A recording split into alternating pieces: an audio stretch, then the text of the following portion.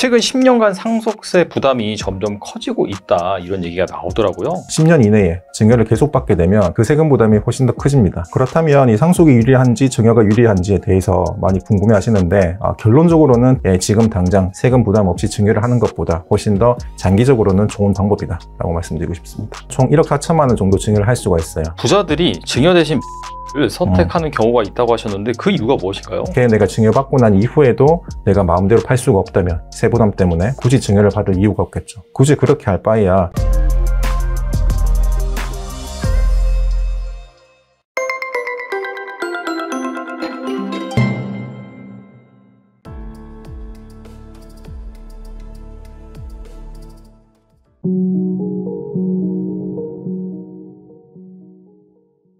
네, 이성호 세무사님 모셨습니다. 안녕하세요. 네 안녕하세요.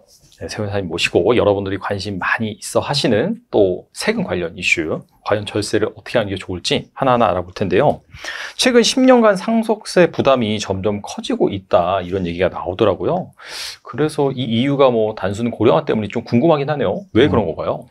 일단은 뭐 상속세 이야기를 항상 하게 되면 같이 이제 연달아 나오는 키워드가 고령화, 그 다음에 이제 노년층에서 사망이 발생했을 때 뭐 상속 비율에 대한 그런 뭐 통계 자료나 여러 가지 이제 뭐 언론에서 말하는 이제 자료인데 어, 상속을 이야기할 때는 크게 두 가지 측면에서 좀 접근할 수 있을 것 같습니다. 개인적으로 봤을 때 첫 번째는 당연히 인구 통계학적으로 한번 봤을 때 그 사회가 얼마나 고령화가 되어 있는 사회인가로 생각해 볼 수 있고 그리고 두 번째는 실제로 내가 가지고 있는 재산이 뭐 어떤 뭐 아파트가 될 수도 있고 아니면 땅이 될 수도 있고 일반 상가 건물이 될 수도 있고 여러 형태의 재산이 공통적으로 최근 10년 또는 5년 내에 실제로 많이 올랐습니다. 가치가. 그렇기 때문에 그 가치 상승분에 대해서 어, 나의 어, 가족 혹은 내 부모님의 재산에 대해서 상속세가 얼마나 나올 것인가 미리 한번 계산을 해볼 수가 있을 것이고 우선 인구 통계학적으로 말씀드리면 이웃나라인 일본에 대한 이야기를 빼놓을 수가 없어요. 일본 같은 경우에는 이미 초고령 사회로 진입을 했기 때문에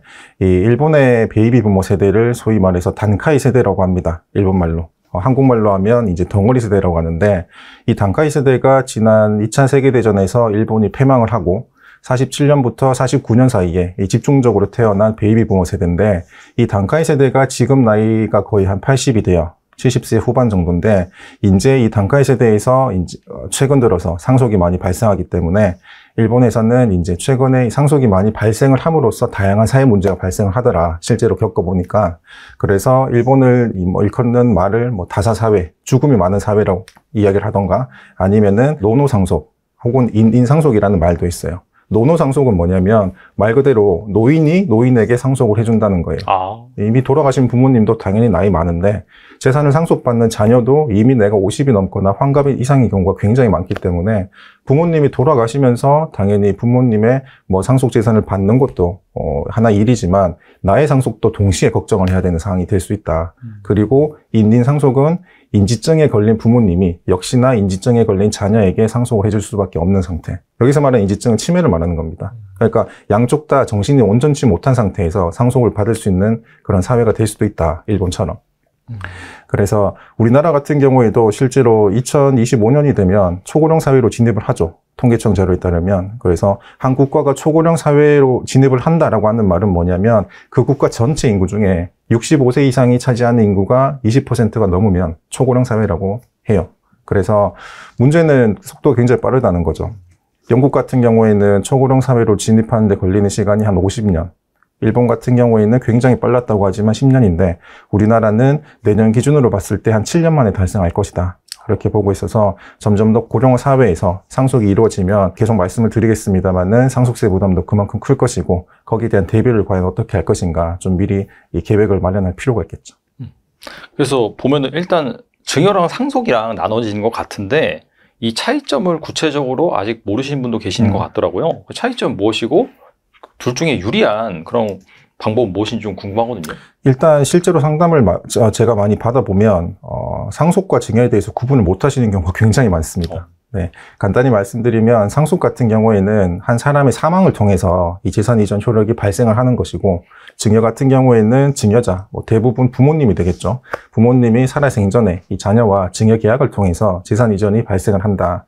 그래서 재산 이전 효력이 발생하는 시점이 사후냐 생전이냐에 따라서 간단하게 좀 차이를 어, 정해 볼 수 있을 것 같고 그렇다면 이 상속이 유리한지 증여가 유리한지에 대해서 많이 궁금해 하시는데 아, 결론적으로는 답이 없다는 겁니다. 음, 실제로는 상속과 증여를 했을 때 양쪽 모두 세부담을 비교해 봐서 종합적으로 판단할 수밖에 없다라고 하는 건데 일단 그 배경에는 크게 두 가지 차이점이 있습니다. 어, 첫 번째는 계산 구조가 완전히 다르다. 세금을 산출하는 방식이 상속세와 증여세가 거의 정반대라고 보시면 됩니다. 그래서 상속세 같은 경우에는 돌아가신 분, 즉 망자에 가지고 있는 전체 재산이 있으면 일단 이 전체 재산 기준으로 세금부터 먼저 산정을 해요.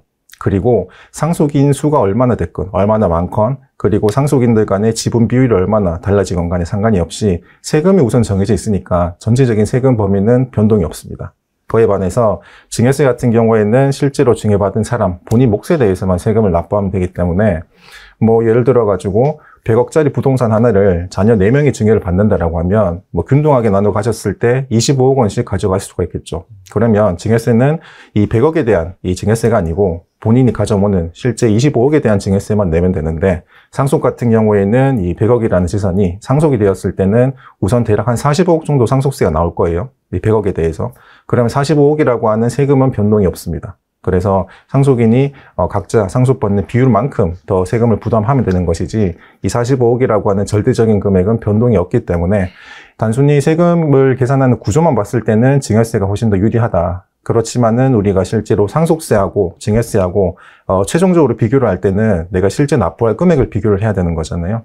그렇게 따진다 그러면 오히려 상속세는 증여세에 비해서 공제의 금액이 굉장히 크고 다양하다라고 하는 아. 장점이 또 있습니다. 그래서 단순하게 우리가 뭐 예를 들어서 열거를 하다 보면 뭐 가령 일괄 공제 5억 원 그리고 배우자가 살아 있으면 배우자 공제 그리고 뭐 가업을 승계받으면 가업 상속 공제, 뭐 금융재산 상속 공제 다양한 공제 규정이 있는데 증여세의 경우에는 잘 아시는 것처럼 증여재산 공제 하나밖에 없죠. 그리고 증여자와의 관계에 따라서 그 금액이 크지도 않습니다. 실제로 내가 넘겨주려고 한 재산 가치에 비해서 현실적으로 너무나 아주 낮은 금액으로 머물러 있기 때문에 뭐 개인적으로는 당연히 이런 공제 부분도 현실에 맞게 좀 많이 어, 상승이 되고 바뀌어야 된다고 생각을 하고 있습니다만 현재 세법 상황에서는 그렇게 공제 금액 자체가 효과적이지도 않고 또 이 공제 금액이 매번 증여를 할 때 공제해 주는 게 아니고 10년마다 한 번씩 해주는 거잖아요. 그렇기 때문에 이 사이클도 실제 현실에 비해서 너무나 긴 시간이다. 그런 측면에서 본다고 하면 오히려 상속세가 더 유리할 수 있습니다. 그래서 두 가지를 항상 비교를 해서 종합적으로 판단해 가지고 내가 어떤 것이 유리한지 한번 계획을 잘 준비를 하시는 게 좋겠죠.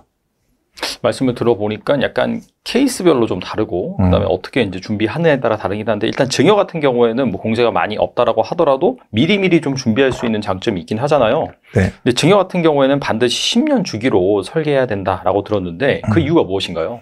사실 이제 10년 주기로 설계를 하는 것이 기본적인 그 전제 가정이 면세점 증여. 즉 내가 세금을 한 푼도 없이 증여를 하고자 했을 때 10년 주기라고 하는 방법을 사용하는 것인데 제가 봤을 때는 증여라고 하는 거는 물론 세금 없이 주는 것도 중요하지만 내가 이 증여를 하고 난 이후에 과연 이 증여자, 증여를 받은 사람 혹은 증여를 해준 사람 입장에서 이걸 어떻게 운용할 것인가에 따라서 지금 당장 세금을 내고 증여를 하더라도 오히려 더 도움이 될 수도 있습니다. 이거는 증여라고 하는 거는 그 가족에서 어, 가족 성향에 맞게 증여 성향에 맞게 좀 잘 하셨으면 좋겠는데 일단은 제일 스탠다, 스탠다드한 방법이 이제 면세점 증여니까 우선 면세점 증여를 말씀드리면 증여재산 공제 범위 안에서 증여를 한다는 것이잖아요. 그래서 10년 주기로 증여를 새롭게 한다는 건데 만약에 자녀가 30살이 됐을 때까지 내가 증여를 한다고 하면 총 4번 증여를 할 수가 있겠죠. 예를 들어서 태어났을 때 한 번, 그리고 10살, 20살, 30살 때까지 총 4번인데 어, 왜 30살이냐고 물어보시면 저는 일단은 최근에 나이가 이 사회로 진출하는 나이가 이제 30살 정도는 되어야 본격적으로 이제 사회에 어느 정도 궤도에 올라가고 그리고 결혼 계획도 있고 하기 때문에 30살까지로 한번 어, 말씀드렸는데 경우에 따라서 나이 시점은 조절을 할 수가 있습니다. 충분히. 그래서 30살까지라고 하면 총 1억 4천만 원 정도 증여를 할 수가 있어요. 현재 증여재산 공제 범위 내에서. 그리고 매년 물가 상승률이 4%가량 오른다고 했을 때 이 자녀분 입장에서는 1억 4천만 원이 아니고 2억 3천만 원 가량 실제로 본인이 세금 없이 자금을 가질 수가 있습니다. 그러면 이 자금을 가지고 본인이 사회로 나갔을 때 마중물 역할을 할 수 있는 금액이죠. 그 금액이 최소한으로는 대략 2억에서 3억 사이로 저는 보고 있습니다. 그리고 최근 뭐, 뭐 결혼정보회사 통계 자료에 따르면 어, 2030 우리나라 성인 남녀의 평균 결혼 비용이 1인당 3억 3천 정도는 된다고 하더라고요. 이 3억 3천만 원에 거의 뭐80% 가량이 대부분 또 전세 자금으로 쓰이겠지만은 이 결혼 자금이나 마중물 역할을 하는 데 있어 가지고 이 자금을 어, 아주 긴 호흡으로 공제 범위 내에서만 증여를 한다고 했을 때는 이 정도 금액을 면세점 증여로 가능을 하다. 그렇지만 실제로 상담을 해보면 이런 경우도 많습니다. 뭐 내가 최근에 손자가 태어났는데 손자 태어나자마자 뭐 세금 주더라도 바로 그냥 현금 5억 주고 차라리 이 5억을 가지고 내가 운용하던 명확한 계획이 있으니까 뭐 내가 변액보험에 투자를 한다든가 아니면 내가 우량주에 투자를 한다든가 그래서 단기간 내에 세금은 부담을 했지만 이 세금 부담한 금액보다 더 큰 재산 가치를 증가를 이룰 수 있다고 한다면 오히려 그 방법을 활용하는 것도 괜찮을 수가 있겠죠. 또 손자 입장에서는 뭐 증여 이후에 재산 가치 증가분은 다 오롯이 세금 없이 본인 몫으로 이제 운용을 할 수가 있으니까 경우에 따라서 내가 세금을 부담하더라도 어느 정도로 증여를 하는 것이 맞는지 또 그 운용 방향은 향후에 어떻게 되는지도 같이 고려하셔가지고 증여를 하시는 게 예, 지금 당장 세금 부담 없이 증여를 하는 것보다 훨씬 더 장기적으로는 좋은 방법이다라고 말씀드리고 싶습니다. 그리고 부자들이 증여 대신 매매를 선택하는 경우가 있다고 하셨는데 그 이유가 무엇인가요?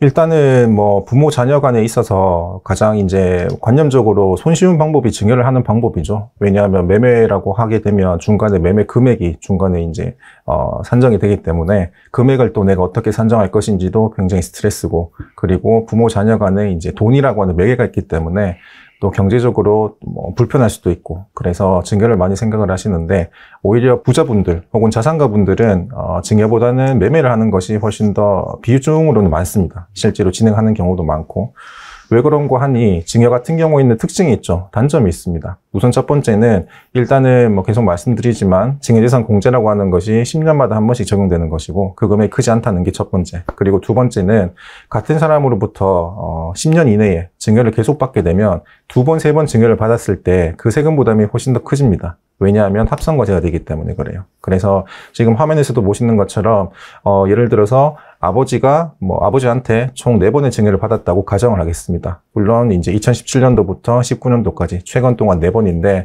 어, 증여를 받는 재산 종류는 다양할 수가 있겠죠. 아파트가 될 수도 있고 화면에서 보시는 것처럼 뭐 임야가 될 수도 있고 다양합니다.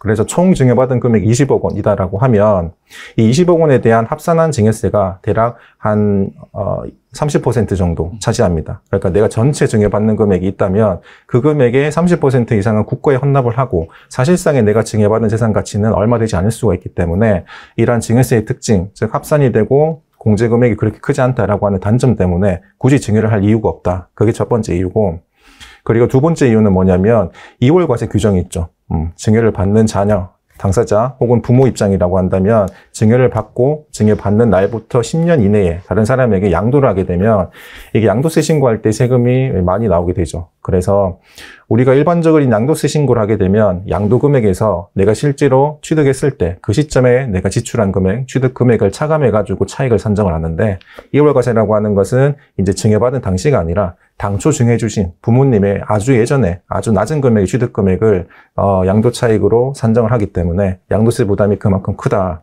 그래서 내가 물려주는 쪽 부모님도 그렇고 물려받는 자녀 입장에서도 그렇고 증여세도 내고 취득세도 부담을 당연히 할 것인데 큰 마음을 먹고 증 여를 받을 것인데 이렇게 내가 증여받고 난 이후에도 내가 마음대로 팔 수가 없다면 세부담 때문에 그리고 요즘 같은 경우에는 뭐 부동산 시장이 많이 조정을 받고 있기 때문에 어 내가 적당한 가액으로 적당한 매수인이 나타난다고 하면 내가 당연히 가지고 있는 재산을 충분히 처분할 수 있는 좋은 기회임에도 불구하고 이렇게 이월과세 때문에 어, 처분 시점에 내가 제약이 있다라고 한다면 굳이 증여를 받을 이유가 없겠죠. 그리고 마지막 세 번째는 이제 많이들 생각하시는 유류분 문제입니다. 내가 부모님과 자녀 사이에 살아생전에 증여를 받은 재산이 있다고 하면 그 증여를 받는 것으로 끝나는 게 아니고 부모님 사후에 다른 상속인들 간의 유류분 권리에 대한 소송이 들어온다고 했을 때 미리 증여받은 금액도 당연히 유류분 청구 대상이 되는 금액으로 합산이 돼요. 그래서 뭐 청구권자한테 다 그 재산이 넘어갈 수도 있는 부분이라서 나중에 내가 뭐 증여를 지금은 받았지만 어, 장기적인 관점에서 이 재산을 운용할 수 있는 그런 계획을 짜기가 쉽지가 않겠죠. 왜냐하면 지금은 내가 증여를 받았는데 다른 형제분들이 부모님 사후에 위로분 청구 소송을 걸 수도 있는 거기 때문에 내가 내 재산이라는 생각도 많이 들지도 않을 뿐더러 장기적으로는 재산을 어떻게 운용할지에 대해서 불투명하고 또 불안할 수가 있기 때문에 굳이 그렇게 할 바에야 여력이 된다라고 하면 어, 매매를 통해 가지고 차라리 위로분 문제도 없이 그리고 2월과세 문제도 없이 내가 운용할 수 있는 방향에 대해서 좀 자유롭게 마음 편하게 운용할 수 있는 방법이 되지 않을까 예, 그런 측면에서 많이들 매매를 생각하신다라고 생각하시면 좋겠습니다. 그리고 부모님 사망 후 6개월 이내에 반드시 해야 할 일들이 있다라고 하셨는데 그게 무엇인가요? 일단은 부모님이 돌아가시고 나서 6개월이라고 하는 시간이 굉장히 또 누군가에게는 여유롭게 느껴질 수도 있습니다. 우리가 일반적으로 양도세 신고를 하게 되면 2개월 이내 신고 납부를 해야 되는데 어, 상속세는 6개월이라는 시간이 주어지네? 그러면 3배 정도 시간이 있는 거니까 나는 이 시간 동안에 사실 뭐 세금 신경을 잠시 접어두고 뭐 다른 일을 좀 집중할 수도 있는 거고 해서 어, 세금에 대해서 관심이 좀 멀어질 수도 있습니다만은 사실 국가에서는 이렇게 신고 납부 기간에 대해서 아무 이유 없이 기간을 그렇게 넉, 넉넉하게 주진 않습니다. 다 이유가 있습니다. 그 이유를 말씀드리면 6개월 동안에 해야 될 일이 그만큼 많다라고 생각을 하시면 되는데 우선 첫 번째는 부모님이 돌아가실 때 당일이죠. 당일에는 당연히 부모님을 이제 떠나보내면서 좀 매도를 하는 기간도 있을 것이고 또 장례식장에 대한 부분도 마련을 해야 될 거고 오시는 분들에 대해서 맞이도 해야 될 거고 그 과정에서도 이 장례식장이나 뭐 영안실 사용 비용, 뭐 미처 지급하지 못한 병원비에 대한 정산, 간병비에 대한 정산 이런 이제 자료들은 뭐 영수증이나 카드 사용 내역서 혹은 대금 이체 내역서 모두 다 괜찮습니다. 금융거래 내역으로 입증을 할 수 있기만 하면 나중에 상속세 신고할 때 이 장례 비용이나 채무액으로 차감을 할 수가 있기 때문에 어, 증빙을 잘 마련해 두시고 그리고 사망 진단서 상에 부모님이 실제 사망한 날짜가 예, 병원에서 알려주고 있는 금액하고 맞는지 잘 기록이 되어 있는지 확인하는 게 중요하죠. 왜냐하면 어, 세금 신고를 지금 당장 할 건 아니지만 이 사망 일자리 기준으로 향후 6개월 이내 내가 언제 세금 신고를 해야 되고 거기에 대한 준비는 어떻게 해야 될지 미리 마지노선을 어, 구분할 수가 있기 때문에 그 기준점이 된다. 그래서 이 사망 일자를 좀 확인하자라고 하는 게 당일 아, 준비를 하시면 될 일이고 그리고 두 번째는 이 사망일로부터 1개월 이내 좀 준비하실 일입니다.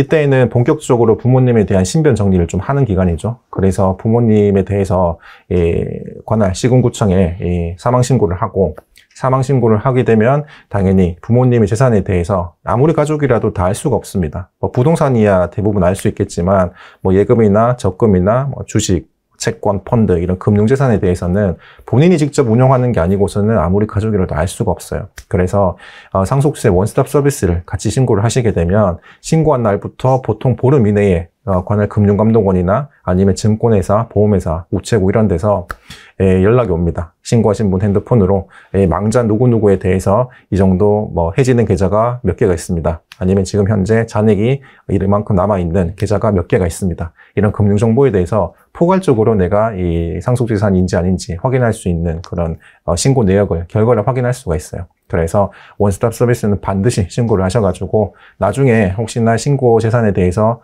의도하지 않든 의도하지 않든 재산 누락하는 거를 좀 방지를 하셨으면 좋겠습니다.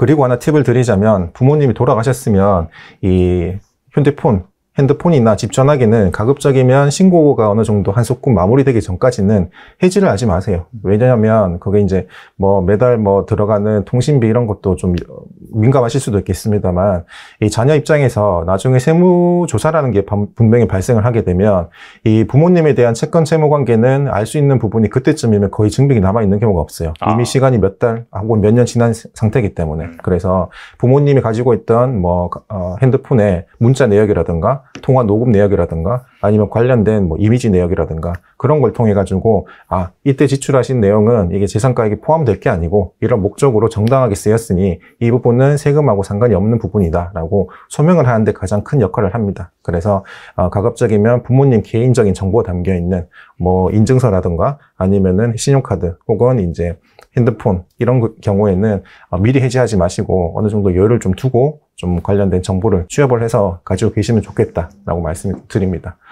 그리고 마지막으로는 3개월째입니다. 사망하고 나서 3개월째는 내가 이제 어 부모님이 돌아가시고 상속을 내가 포기를 할 것인가 아니면 상속을 받되 부모님이 부채가 많아서 내가 이 상속재산 범위 내에서만 부채를 같이 승계받을 것인가 이 한정승인에 대한 결정을 해야 되는 기간이죠. 그래서 사망일로부터 3개월 이내 이 상속 포기나 한정 승인에 대해서 관할 과정법원에 신고를 하시는 기간이고 또 이 3개월 기간 동안에 앞서 말씀드린 이 상속세 원스톱 서비스를 통해서 확인한 그런 정보를 통해서 이 금융정보나 금융회사나 아니면 보험회사 아니면은 증권회사 같은 데 가서 관련 서류를 직접 받고 혹은 이제 사망 신고를 통해서 보험금이나 퇴직금을 청구하는 그런 절차라고 보시면 되겠습니다. 그리고 마지막으로는 이제 사망일로부터 6개월, 정확히 말씀드리면 사망일을 제외한 사망일이 속한 달을 제외한 6개월입니다. 그래서 이때까지는 내가 본격적으로 상속세를 신고하고 납부하는 기간이기 때문에 상속세가 대략적으로 한번 발생을 하게 되면 거액이 발생을 한다는 특징이 있잖아요. 그래서 이 상속세를 대부분 일시 납부하는 경우는 거의 없기 때문에 이걸 어떻게 분납해서 납부할 것인가 그리고 내가 필요하다면 대출을 받거나 아니면은 가지고 있는 재산을 담보를 제공해서 납부 기한을 연장을 한다든가 이런 부분에 대해서 어, 담당하시는 전문가 분들과 좀 잘 상의를 하셔서 내가 급작스럽게 돈이 필요하면 사람이 스트레스를 굉장히 많이 받게 마련입니다. 그래서 이런 부분 없이 좀 잘 계획을 하셔가지고 이 상속세를 납부할 수 있는 이런 재원 마련 그리고 어떻게 신고를 할 것인지에 대해서 상속인들 간의 뭐 재산 분할에 대해서 최종적으로 한 번 더 협의를 한다든가 이런 절차를 좀 6개월 동안 마지막 6개월 동안 가지시는 게 안전하게 상속세를 신고하는 방법이 되지 않을까 생각이 듭니다. 그리고 이제 부모님의 채무 중에 공제되는 것이 있다고 들었는데 이게 음. 무엇인가요? 일단 상속세 신고를 할 때 뭐 다양한 공제 규정을 통해서 상속 재산을 좀 줄이는 내용이 아니면 일반적으로는 부모님 명의로 된 채무액을 통해서 재산가액을 차감을 하게 되어 있습니다. 이 채무액이라고 하는 것은 어, 일반적인 그 관념상의 채무액보다는 이 부모님이 미처 상환하지 못한 채무인데 그 금액이 사망일 현재에는 일단은 얼마인지 확정이 되어 있어야 돼요. 사망일 이후에 확정이 되면 그거는 공제 대상이 된 채무가 아닙니다. 설령 부모님이 돌아가시고 자녀인 내가 대신 갚았다고 하더라도 미확정된 채무는 그거는 공제 대상이 된 채무로 보지 않기 때문에 실질적으로 재산가액을 차감할 수 있는 어, 그런 채무라고 본다면 사망일 현재 확정 채무인지 확인하는 것이 중요하고 그 채무 입증도 잘 해야 되겠죠. 우선 대표적으로는 부모님이 가지고 있는 뭐, 뭐 개인 신용 대출이라든가 아니면은 상속받은 부동산에 대한 뭐 근저당 대출이라든가 이런 것들이 가장 일반적인 경우죠. 그리고 입증하기도 쉽습니다. 어, 사망일 현재 은행 가셔가지고 이 채무액 잔액이 얼마나 남았는지 입증을 하면 되니까. 그리고 두 번째는 부모님이 만약에 살아생전에 뭐 임대를 주고 계셨다라고 하시면 그 세입자에 대한 임대 보증금이 있겠죠. 그래서 세입자는 당연히 임대 기간이 끝나고 났을 때, 퇴거를 했을 때 이 보증금을 받아갈 사람이기 때문에 부모님 입장에서는 그 보증금은 본인 돈이 아니고 항상 주어들 돈입니다. 그래서 임대 보증금도 채무액으로 반드시 차감을 해야 되고 그러면 이 임대 보증금을 어떻게 확인을 하느냐? 당연히 임대차 계약서로 확인을 하는데 우리가 보통 임대차 계약서를 최초 한 번만 쓰고 내용이 변경이 없으면 굳이 어, 수정을 하지는 않습니다. 그래서 부모님 사망일 전후로 해서 이 임대 계약서 상에 임대 보증금을 좀 명확하게 확정하기 위해서라도 이 부모님 사망 전후로 해서 세입자분과 귀찮지만 임대차 계약서를 좀 새롭게 최신화로 갱신하는 게 좀 좋다라는 말씀을 드리고 그리고 어, 마지막 세 번째는 뭐냐면 어, 부모님 명의로 된 이 병원비와 간병비가 부모님이 아주 오랫동안 경우에 따라서 병원 신세를 지, 고 계신다. 병원 신세를 지고 계신다라고 하면 이런 비용이 굉장히 많이 발생할 수가 있습니다. 그래서 이 살아생전에 이런 병원비나 간병비 혹은 부모님 생활비를 자녀분이 뭐 부담하시면 좋겠지만 굳이 세금적인 측면에서는 자녀분이 대신 부담하기보다는 어, 가능하시다면 이 부모님 명의로 대출을 좀 내셔가지고 그 대출 받은 거 금액 중에 뭐 병원비나 간병비로 쓰시고 남은 금액은 생활비로 쓰고 부모님이 사망을 하게 되면 그 대출금이 그대로 채무액으로 남겠죠. 그러면 실질적으로 살아생전에 자녀 입장에서 본인 돈을 투자하지도 않아도 되고 본인 돈을 지출하지 않아도 되고 이 채무액은 고스란히 재산가액에서도 차감을 할 수가 있기 때문에 경우에 따라서는 부모님 명의로 이 채무액을 어, 큰 금액은 아니지만 어느 정도 내가 상속인 입장에서 사후에 이 갚아 나갈 수준의 어, 금액이 된다고 하면 그 금액을 미리 좀 생성을 해 두는 것도 이 재산가액을 좀 줄이는 방법이다라고 보시면 되겠습니다. 그리고 저희 채널에서 가장 또 많은 분들이 궁금해 하신 게 현금 증여거든요. 음. 그래서 올해부터 혼인 출산한 자녀의 재산 증여 시 1억 원까지는 뭐 세금이 음. 공제된다 이런 얘기가 있는데 음. 그렇다면 정말 현금으로 1억 원을 줘도 세금이 안 붙는 건가요? 네, 실제로 이제 뭐 저출산이라던가 아니면은 뭐 증여재산 공제 범위가 너무나 턱없이 부족하기 때문에 정부 차원에서도 이제 최근에 많이들 아시는 것처럼 혼인을 했을 때 1억 원 정도 주게 되면 금액을 받아가서 실제로 혼인 목적으로 썼는지 여부와 상관이 없이 그냥 세금 없이 해주겠다라고 많이 알고 계시는 것 같습니다.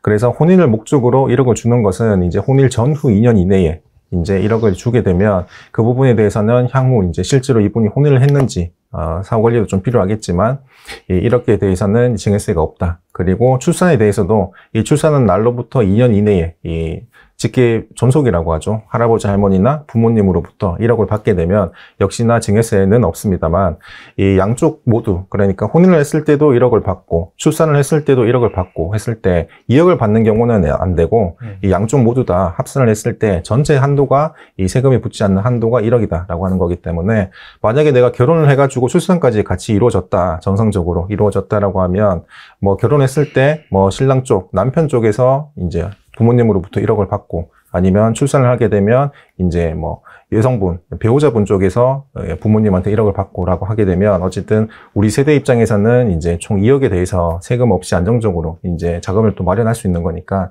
이제 결혼과 출산에 대해서 1억이라고 하는 공제 한도를 좀 유의를 하셔가지고 이 실제로 금액을 받더라도 세금 없이 좀 잘 받으셨으면 좋겠습니다. 그리고 이제 ATM 기기에서 돈을 소액으로 뽑으면 걸리지 않는다. 이런 생각하시는 분들이 많거든요. 여기에 대해서 약간 정확하게 설명해 주신다면. 어, 많이들 이제 걱정을 하시는 게, 이 가족 간의 현금 거래. 이 가족 간의 현금 거래는 이제 당연히 계좌 이체를 하게 되면 거래 상대방이 현출이 되기 때문에 이제 상대방 정보에 대해서 당연히 알 수가 있으니까 그걸 이제 많이 좀, 어, 싫어하시죠. 그 불안해 하시기도 하고.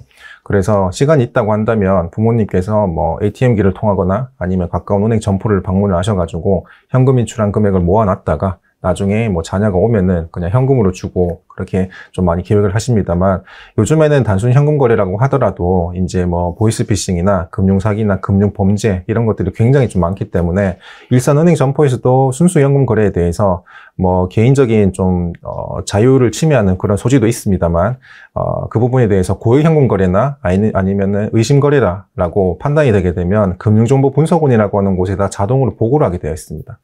그래서 동일인 기준으로 어, 하루 동안 입출한 금액의 합계가 천만 원이 넘어가면 그거는 고액 현금 거래다라고 봐서 당연히 보고 대상이 되고 그리고 이 사람이 평소에 지금까지 한 기간 동안에 봤을 때 어, 원래는 현금 인출 이만큼 안 한 사람인데 최근 들어가지고 특정 기간 동안 계속적 반복적으로 현금을 이만큼 인출했네 왜 그렇지? 라고 해서 의심할 수가 있습니다. 그래서 이 내용을 가지고 의심 거래로 이제 역시나 금융정보분석원에다가 보고를 할 수가 있기 때문에 내가 이제 현금 인출한 금액이 이렇게 보고 대상이 되어 있는 고액 현금 거래인지 아니면 의심 거래인지에 대해서 좀 유의를 하실 필요가 있고 요즘은 이제 고액 현금 거래라고 하는 내용을 거의 다 대부분 아시기 때문에 의도적으로 2천만 원이라고 하는 금액을 피하기 위해서 뭐 999만 원이라든가 아니면은 뭐 거기에 준하는 상당한 현금을 또 인출을 하는 경우는 많습니다만 실제로는 이제 어, 금융정보분석원에 대부분 다 보고가 되고 그리고 국세청에서도 나중에 상속세 세무조사가 있거나 아니면 뭐 자금 출처에 대한 어, 뭐 증여세 세무조사가 발생할 필요가 있다라고 하면 당연히 그런 자료를 다 이관 받아가지고 조사에 다 활용을 하기 때문에 예, 국가는 결국에는 조사가 들어가면 대부분은 다 어, 알게 된다. 라고 하는 걸 항상 염두에 두시고 현금을 인출을 한다면 내가 어떤 목적으로 내가 상식적인 수준에서 생각을 해봤을 때 기존의 나의 현금 인출 금액하고 비교를 해봤을 때 너무 등락이 심하면 또 안 되겠죠. 그래서 만약에 내가 진짜 내가 어떤 목적성을 가지고 현금 인출이 필요하다라고 하면 귀찮겠지만 이 적요란에다가 내가 어떤 목적으로 누구에게 얼만큼 현금 인출함이라고 메모라도 남겨두는 것이 나중에 세무조사가 있을 때 이 과세관청으로부터 대응할 수 있는 작지만 그런 소중한 입증 정보가 된다라고 좀 항상 유념을 하시면 좋겠습니다. 그리고 한국인 자산의 70%가 부동산이기 때문에 부동산 증여 상식은 필수적이라고 볼 수 있는데요. 주택을 상속받을 때 세금을 피하는 세 가지 방법이 있다고 하셨는데 이게 무엇인가요? 음. 일단은 이제 주택을 상속을 받게 되면 기존의 자녀 입장에서는 기존 주택을 가지고 있을 때 주택 수가 두 개가 되잖아요. 그래서 자녀 입장에서는 부모님으로부터 상속받는 주택이 없었다면 내가 원래 가지고 있는 주택에 대해서 뭐 보유기간이나 거주 요건을 충족을 해서 비과세를 받을 수도 있는 건데 부득이하게 부모님이 돌아가시고 주택수가 늘어나서 주택수가 이제 이주택, 이 돼가지고 비과세를 못 받는 걸 좀 구제를 해주자. 그래서 일정한 요건을 갖춘 상속받는 주택이라고 하면 이 기존에 가지고 있는 주택을 처분할 때 상속받은 주택은 주택수에서 제외해줄게 라고 하는 그런 규정입니다. 요건은 크게 세 가지가 있습니다. 첫 번째는 부모님이 돌아가신 날 현재 부모님 세대하고 자녀 세대는 이 별도 분리된 세대여야 돼요. 그리고 자녀가 부모님이 돌아가시기 전부터 원래 가지고 있는 일반 주택이 있는 상태부터 그림이 출발한다라고 보시면 되겠습니다. 하니 당연히 그 취지에 맞게 어, 부모님이 돌아가시고 주택을 상속받고 난 이후에 새롭게 취득한 주택을 처분하게 되면 그거는 당연히 비과세를 해줄 이유가 없겠죠 국가에서 왜냐하면 기존에 가지고 있는 주택이 아니기 때문에 그래서 그림은 항상 별도 세대에서 자녀는 원래부터 기존 일반 주택을 가지고 있는 상태에서 출발을 한다라고 보시면 되고 두 번째는 뭐냐면 어, 처분 순서입니다. 그러면 내가 부모님이 돌아가시고 주택을 상속받았다라고 가정을 하게 되면 둘 중에 어떤 걸 먼저 처분하든지 비과세가 된다라고 잘못 알고 계시는 분들이 계세요. 어쨌든 취지에 따라서 자녀가 원래 가지고 있던 일반 주택을 처분했을 때만 비과세가 되는 것이지 상속받은 주택을 먼저 처분하게 되면 비과세를 또 해줄 이유가 없기 때문에 비과세를 받기 위해서는 당연히 일반 주택 원래 가지고 있던 자녀의 주택을 처분했을 때 비과세를 인정을 해준다라고 하는 겁니다. 그리고 세 번째는 뭐냐면 이 일반 주택에 대해서 비과세가 아무리 해도 인정이 안 되는 일반 주택이 있어요. 왜냐하면 이 일반 주택은 부모님이 돌아가시기 전 돌아가시기 전 3년 이내에 증여를 받는 주택이라고 하면 이거는 일반 주택 요건, 이 비과세 요건을 갖춘다고 하더라도 비과세 적용을 못 합니다.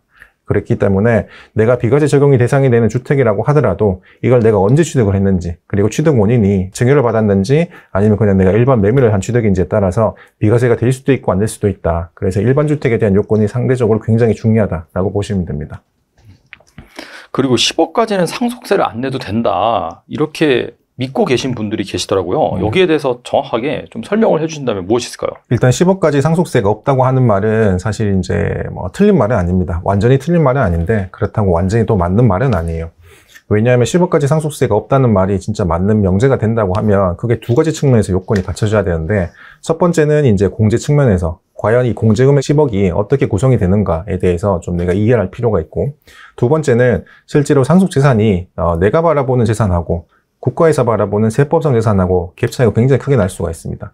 여기서 이제 이 갭 차이를 내가 어떻게 해소하는지, 내가 명확하게 상속재산에 대한 인지를 하고 있는지 이 두 가지인데, 우선 공제금액은 당연히 10억이 되려고 하면 가장 최소한은 배우자가 살아있어야 돼요. 그리고 이 배우자는 사실혼 배우자는 아니고 법률상에 있는 배우자, 아, 법정 배우자만 인정이 됩니다. 그래서 배우자가 살아있는 상태에서 이 배우자가 실제로 이 본인, 배우자, 남편이 돌아가시면서 상속받은 재산이 하나도 없다고 할지라도 기본적으로는 5억을 인정해주고 있기 때문에 이 10억 중에 5억에 해당하는 금액은 배우자 상속 공제로 구성이 된다. 그리고 나머지는 대부분 일괄 공제 5억이 있기 때문에 둘이 합산을 해가지고 공제 금액이 10억 원이 되는 것이다. 라고 하는 요건이 첫 번째고 그리고 두 번째는 제일 중요한 요건이죠. 이 상속 재산이 과연 내가 보는 재산은 나는 8억만 인정이 되는데 8억이 될 걸로 보이는데 그래서 상속세가 없다라고 생각을 하고 있다가 국가에서 봤을 때는 그거 아니야. 그거 8억이 아니고 내가 국가에서 보니까 법상으로는 그게 15억이야 라고 하게 되면 당연히 공제금액이 5억을 초과하니까 세금이 또 발생할 수가 있잖아요. 그래서 이 갭 차이로 과연 어떻게 해석을 할 것인가. 그 원인은 이 상속재산이라고 하는 거는 스펙트럼이 굉장히 길다라고 보시면 됩니다. 대부분의 상속인 입장에서는 부모님이 돌아가신 사망일 현재 눈에 보이는 거, 그러니까 부동산에 대한 가액, 그리고 예적금이나 뭐 주식 잔액 이런 부분에 대해서만 그게 8억이 다라고 예, 추정을 할 뿐이지 실제로 세법에서 바라보는 상속재산은 사망 전 최대 10년 이내, 그리고 사망일로부터 대부분 6개월 이내 이 사이에 발생하는 어떤 특정 이벤트가 있으면 상속재산으로 다 포함이 된다라고 보시면 됩니다. 잘 아시는 것처럼 사망일 전 10년 이내는 뭐죠? 사정증여재산이죠. 그래서 어, 부모님이 돌아가시면서 상속인한테 증여한 금액이 있으면 최대 10년까지 합산을 하게 되고 상속인 이외의자 그러니까 뭐 대부분 사위나 며느리, 손자, 손녀 되겠네요. 이 상속인 외의자는 5년까지 합산을 하게 되죠. 그리고 어, 추정상속재산이라고 해서 비록 사망일 현재 남아있는 재산은 아니지만 사망 전 2년 이내에 내가 현금 인출한 금액이 어떤 특정 금액을 넘어가게 되면 소명이 안 됐을 때 무조건 상속받는 걸로 추정을 하겠다라고 하는 그런 또 규정이 있습니다. 그래서 이러한 추정 상속재산가액도 사망 전에 있었던 이벤트지만 어, 다 포함이 된다. 그리고 사망일로부터 향후 6개월 이내에는 크게 두 가지로 보시면 됩니다. 첫 번째는 보험금, 그리고 퇴직금이죠. 이 보험금하고 퇴직금은 사망일 현재 내가 실제로 받는 금액은 아니지만 어, 사망 절차, 일련의 절차를 통해서 어, 근무하셨던 회사나 아니면은 뭐 보험회사에다가 지급 청구를 해서 나중에 큰 금액을 받을 수 있는 거기 때문에 이 금액에 대해서도 당연히 재산가액에 포함이 되게 되면 당연히 공제금액 10억 원을 충분히 초과할 수 있는 재산가액이 형성이 될 수도 있다. 그래서 이 사망일 현재 10억이라는 범위를 가지고 내가 세금이 나올까 혹은 내가 납부하지 않을까 궁금하다라고 하시면 가급적이면 이 스펙트럼을 그냥 넓게 보셔가지고 지금 당장은 재산이 없지만 내가 과거에 증여를 또 많이 받을 수도 있잖아요. 예, 포함이 돼가지고 한번 명확하게 판단을 좀 해보시는 게 예, 정확한 세금 납부에 대한 어, 출발점이다 보시면 되겠습니다. 그리고 상속세 세무조사 말로만 들어도 정말 답답한데 세법이 최근 개정되면서 올해 특히 좀 주의해야 될 점이 있다면 무엇이 있을까요? 세무조사 같은 경우에는 우리가 일반적으로 세무조사라고 한다고 하면 전혀 예상치 못한 이 거의 소위 말해서 뒤통수를 맞는 수준의 그런 예상치 못한 부분에서 조사가 이루어질 것이다라고 생각을 많이 하는데 어, 사실 세무조사도 거의 정형화되어 있습니다. 패턴이 아주 이 예외적인 경우가 아니라면 어, 일단 정형화된 패턴이 크게 네 가지가 있는데 첫 번째는 이 사전 증여 재산에 대한 부분. 이, 예를 들어서 뭐 사전증여 재산이라고 한다고 하면 당연히 상속재산가액에 포함이 돼가지고 상속세가 많이 나오는 그런 좀 불상사도 있습니다만 실무적으로는 오히려 이 증여 당시에 증여세 신고를 안 한 경우가 많기 때문에 그 증여세에 대해서 미납한 금액과 그동안의 가산세가 더 큰 폭탄으로 돌아오는 경우가 많습니다. 극단적으로 사망 전 9년 7개월 전에 이 부모님이 그 당시에 부모님이 부동산을 처분해 가지고 자녀한테 5억 원을 현금으로 증여를 해줬습니다. 당연히 증여세 신고는 안 했겠죠. 그 증여세 신고를 어, 무심관 이 증여세에 대해서 거의 9년 7개월에 해당하는 가산세까지 같이 포함해서 지금 부담을 해야 되기 때문에 경우에 따라서는 상속세보다 오히려 이런 증여세가 훨씬 더 큰 부담으로 돌아올 수가 있다. 그래서 이 사전 증여에 대한 부분 그리고 두 번째는 이제 추정 상속재산 그리고 사망 전 1년 이내, 또 사망 전 2년 이내에 내가 인출한 금액이 사망 전 1년이라면 2억이 넘어가거나 혹은 사망 전 2년 이내라면 5억이 넘어갔을 때 그걸 과연 어디에 썼는지 내가 생활비로 적절하게 썼는지 아니면 몰래 자녀한테 현금으로 줬는지에 대해서 소명을 해야 됩니다. 그렇지만 그 소명은 누가 한다? 돌아가신 부모님이 하는 게 아니라 남아있는 상속인들이 자녀가 할 수밖에 없다. 그래서 수정상속 재산에 대한 부분이 가장 두 번째 문제이고 그리고 세 번째는 부모님이 살아생전에 뭐 아파트를 임대하고 계셨다라고 하겠습니다. 그러면 이 월세 수익에 대해서도 부모님이 살아생전에 잘 신고를 했는지도 세무서에서 충분히 볼 수 있다는 말입니다. 세무서에서는 당연히 이 아파트 월세에 대해서 살아생전에는 못 볼 수도 있어요. 왜냐하면 내가 신고를 안 하면 그 우리나라에서 월세를 이제 수익을 얻는 사람이 한두 명이 아닐 텐데 국가에서는 다 모르고 있다가 언제 알게 되냐고 하면 이 임대 보증금에 대해서 상속채무로 공제를 할 때 국가에서는 아 이 사람이 살아생전에 임대 보증금만큼 공제한 게 있으니까 어, 살아생전에 특정 기간 동안 임대를 주고 계셨구나. 그럼 그 기간 동안에 월세 임대 수익, 주택 임대 수익에 대해서는 잘 신고를 했는지 상속세 세무조사뿐만 아니라 소득세 세무조사까지 같이 파생이 될 수도 있습니다. 그래서 이 부분에 대해서도 좀 주의를 하시면 될 것 같고 그리고 마지막 네 번째는 이 재산 평가 방법이죠. 가장 기본입니다. 가장 기본이면서 가장 이제 어려운 방법인데 아파트의 경우에는 뭐 매매 사례가액을 적용을 해야 되는 건데 내가 세법에서 정하는 매매 사례가액은 A라는 가액인데 어, 엉뚱하게 전혀 엉뚱하게 뭐 B라는 가액 을 적어서 내가 의도적으로 가액을 낮춘다던가 아니면은 내가 임대하고 있는 부동산이라고 한다면 기준 시가로만 신고할 것이 아니고 임대하고 있는 부동산에 대한 임대료 환산가액하고 비교를 해서 둘 중에 큰 금액을 신고를 해야 되는데 비교를 하지 않고 그보다 낮은 기준 시가로 신고를 한다든가 이런 부분에 대해서 좀 어, 세세하긴 하지만 실무적으로 또 많이 좀 세무조사 추징 사유로 어, 인정이 되는 부분이라서 이런 추징에 좀 안 걸리게끔 어, 사전에 재산 평가를 어떻게 할 것인가 그 전에 돌아가시기 전에 이 증여에 대한 부분까지 관리를 어떻게 할 것인가 좀 긴 호흡으로 좀 관리를 좀 하셨으면 좋겠습니다. 네, 오늘 나와주셔서 정말 좋은 말씀 많이 해주셨는데 끝으로 이 영상을 보고 계시는 시청자분들을 향해서 한 말씀만 부탁드립니다. 네, 어, 상속세를 줄이기 위해서는 이 상속세가 뭔지 좀 이해를 할 필요가 있다고 봅니다. 어, 제가 생각하는 상속세의 본질은 이 부모님의 사망을 통해 가지고 세금이 갑작스럽게 형성이 되는 게 아니라 이 부모님의 이 시간, 이 부모님이 뭐 중년부터 노년이 되었을 때까지 조금씩 시간이 진행이 됨에 따라서 발생하는 세금의 합계액이 눈에 보이지 않다가 부모님이 사망을 통해서 빵 터지는 효과가 있기 때문에 이 상속세를 줄이는 것도 사망 전에 내가 특정 행동을 한다고 해서 유의미하게 상속세가 줄어들지는 않습니다. 오히려 더 독이 되는 경우가 많아요. 그렇기 때문에 좀 더 긴 호흡으로 장기적인 관점에서 우리 가족 울타리 내에서 어떻게 하면 좀 더 이 세금 부담 없이 안정적으로 재산을 좀 이전할 수 있을까에 대해서 많이 고민하시고 또 이런 강의도 많이 찾아보시고 하시면 좋겠습니다. 네. 네, 사실 뭐 당장 나한테 와닿는 그런 얘기가 아닐 수가 있어요. 뭐 상속이나 네. 이런 것들. 하지만은 누구나 다 겪게 될 그런 문제이기 때문에 또 오늘 말씀해 주신 그런 포인트 잘 귀담아 들으시고 그 다음에 뭐 생각이 있으시다라고 한다면은 또 세무사님께 한번 상담도 한번 받아보시면 좋을 것 같습니다. 네, 지금까지 이성호 세무사님 나오셔서 감사합니다. 고맙습니다.